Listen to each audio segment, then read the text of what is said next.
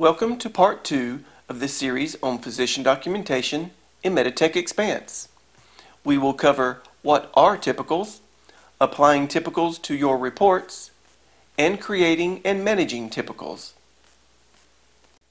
So, what are typicals? Typicals are an innovative way to improve your documentation efficiency by allowing you to fill in parts of a document with your usual findings using minimal clicks. This feature is similar to the normals functionality you may have previously used for documentation. The difference between typicals and normals are that each user will be able to create a unique pattern for their typical findings that are customizable on an individual basis. Applying a typical to your document is a fluent process. Using the Documentation Header button, just select the document you wish to create, and then click this icon to see a list of your saved typicals. Choose from your list of saved typicals, then apply.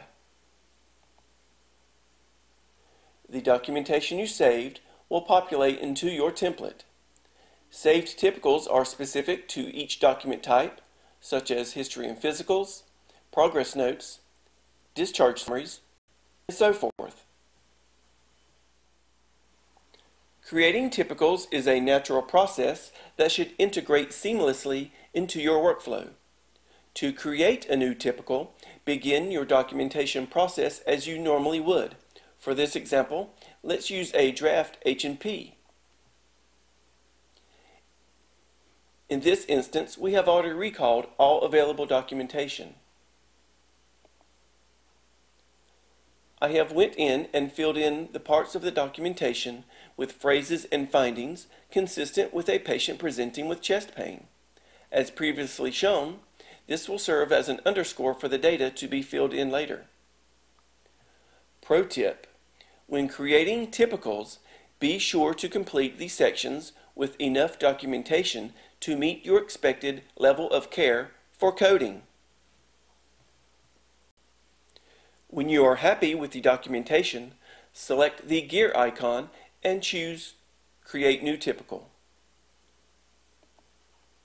In this overlay, you can further customize your typical by unchecking specific items. Alert!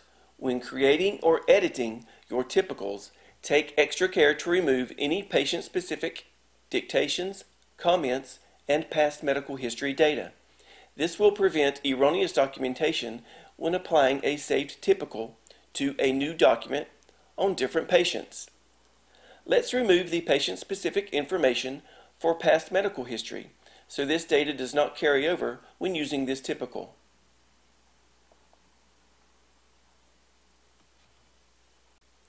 When naming your typicals, it is recommended that you put your document type in the title.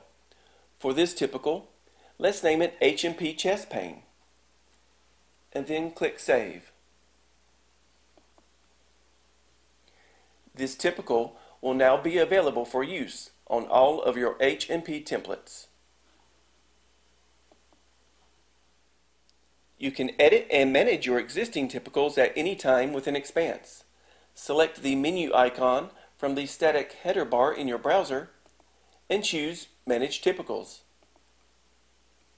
In this screen, you can rename your typicals, delete existing typicals, and edit specific items for each section within a template, as seen here.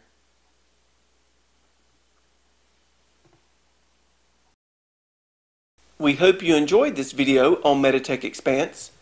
If you have any questions, please see our other videos or contact physician support. Thank you.